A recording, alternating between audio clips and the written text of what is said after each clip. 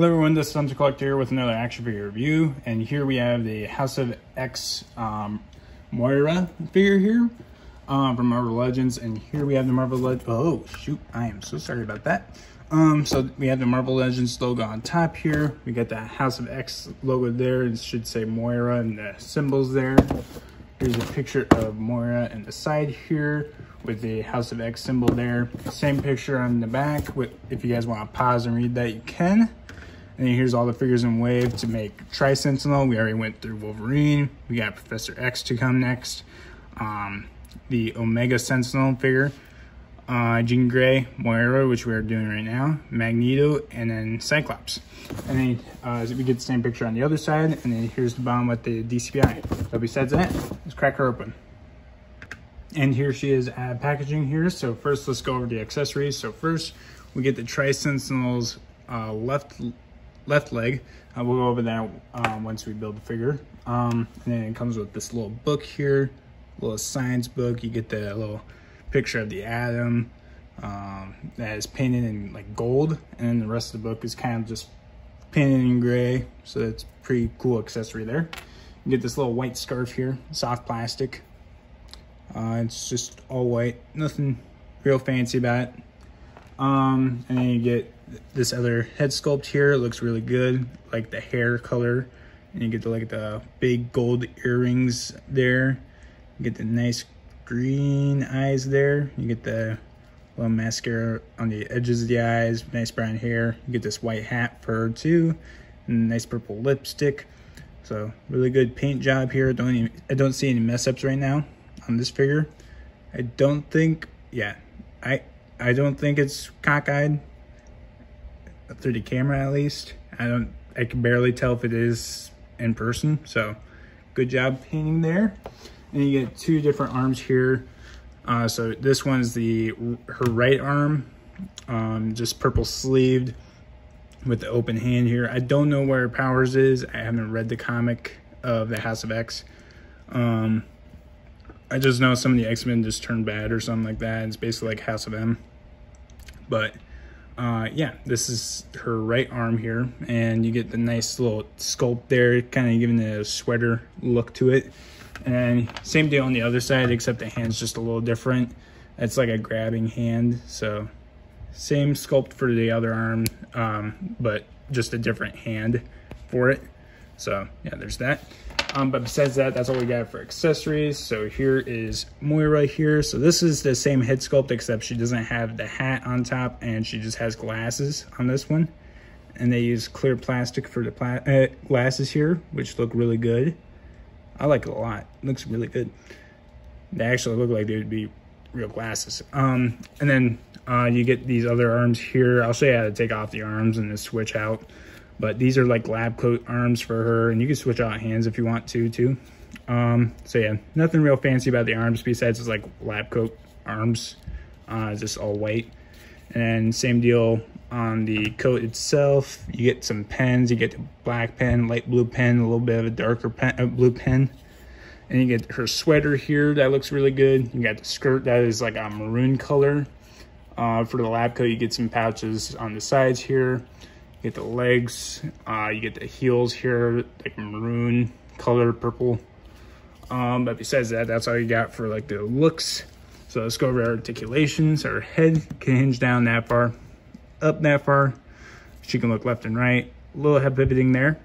Her shoulders can hinge, I mean, go up that far. 360 rotation, single jointed elbows that go past a little 90 degrees. You can rotate the elbow there her wrist can move. I don't know what's up with this one, but it's like a that weird slant type of thing. I don't know if you guys can see that. It doesn't look like it wants to move up or down. I don't know, that looks weird. Um, but, oh, now it does. All right, so it goes down that far. Oh, that looks, that looks weird. Yeah, I'm a little worried about that hand. Um, let's try the other hand. So this one looks like it would be better and it goes up that far. 360 rotation there. Diaphragm joint at the there, so she can go forward barely any, backwards just a little. She can do 360 rotation around, oh wait, she's got yeah, 360 rotation around the diaphragm joint there. She can go a little side to side, not a whole lot. Oh, I'm, am I holding? Okay, I was a little scared for a second. Her legs can kick out that far because there's a little slit there on the side there. Uh, forward, just a little bit, not a whole lot. Uh, she has a thigh cut, double jointed knees.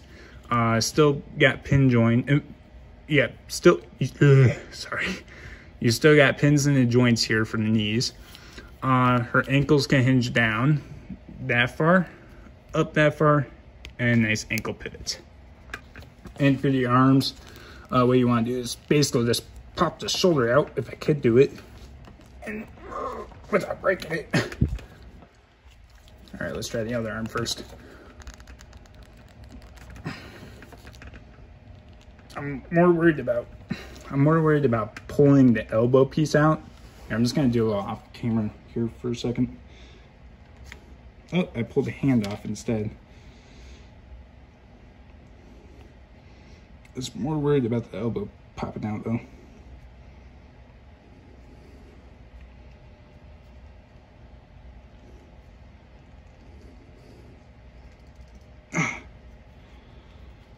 I'm a little worried about this one.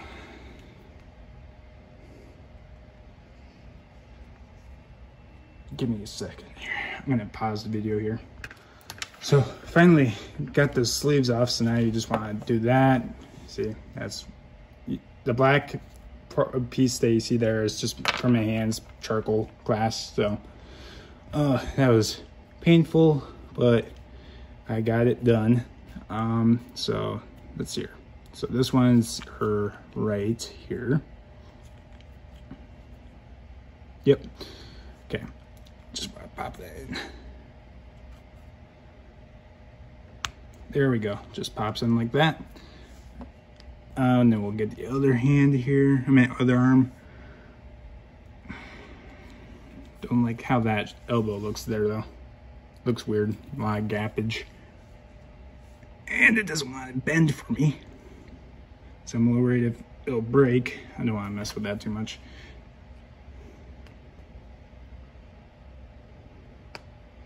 All right, there we go. Pop the other one in. And here's her in her more civilian look. If I could pop off the, pop it in the head.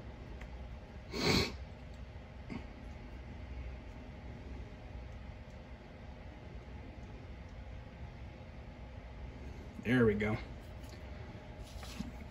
And that's her in her civilian look. That was a little bit of a pain to get done. But yeah, for some reason, this elbow just doesn't want to move for me. So I'm a little afraid of that. But yeah, this is what she looks like with her civilian clothes or without the lab jacket, I should say, actually. But yeah, uh, I think it's a decent figure. It, they could definitely use some work on making this a little easier to take off. Not too easy, but to the point it's too loose to come off. Um, but I like the idea of bringing in different accessories to switch out the sleeves. Probably should put this on her neck. Um, and yeah, uh, really, I like the sculpt of the figure. They did a good job on that. I like the head sculpt a lot too, really good. Um, but besides that, that's all I got for the figure. Um, but don't forget to check out my Twitch. I do Call of Duty. I'm going to do uh, Friday the 13th at some point soon with my buddies and I'm doing Avengers campaign missions and I'm going to do Spider-Man and a few other games that are, I have going. I got No Man's Sky. Um, but besides that, that's all I got.